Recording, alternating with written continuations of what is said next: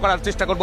বিজেপির প্রতিনিধি রয়েছেন। কি মনে হয় এত দিন ধরে এত দিন ধরে ছশো দিন পার করে গিয়েছে চোখ, দেখতে পাচ্ছে না, হাউ হাউ করে কাঁদছে ক্যামেরার সামনে।